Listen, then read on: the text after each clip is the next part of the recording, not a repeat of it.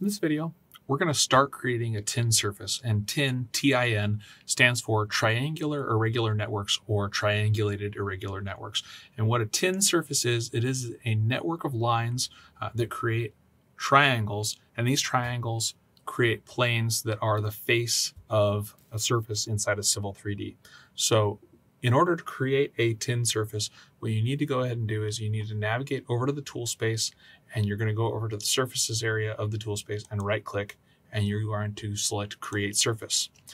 What you need to know is that when we're creating a surface, the first thing that we're doing is we are just creating a placeholder for that surface.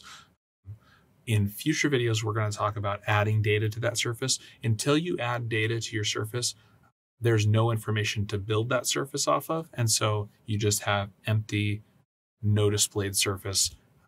And Civil 3D doesn't have any information to use to build that surface off of. So what we're going to go ahead and do is we're going to create the placeholder for our future tin surface.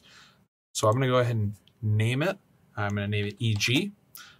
You could give it a description. You could also give it a display style, but since we have no data in our surface yet, I'm not going to choose a display style. Um, and then what you can go ahead and do is if you were going to render it in three dimensional space, you could choose a render material or you could do it by layer of whatever surface layer type you're going to have. So I'm going to go ahead and click OK. And we now have a surface called EG that is ready for us to add data to.